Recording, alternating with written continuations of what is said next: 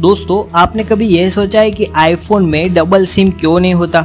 IPhone में double SIM का option इसलिए नहीं होता है क्योंकि कंपनी का कहना होता है कि फ़ोन जितना पतला होगा, देखने में उतना ही अच्छा दिखेगा।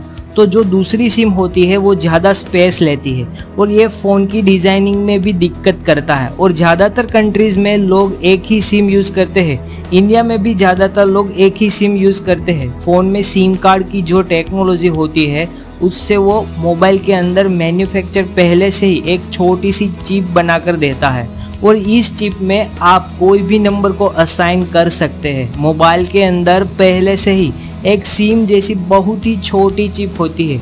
आपको बाहर से कुछ लगाने की ज़रूरत नहीं होती है। और मोबाइल की टेक्नोलॉजी बढ़ने से फ़ोन में दो या तीन सिम लगाने की जो जगह है, इसको धीरे धीरे ख़त्म करना है। यही कारण है कि आईफोन वालों ने कभी भी डबल सिम लगाने का स्पेस नहीं दिया।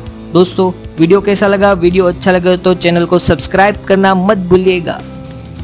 अगर आपको हमारी ये वीडियो पसंद आई है तो लाइक करें और हमारे चैनल को सब्सक्राइब करना न भूलें।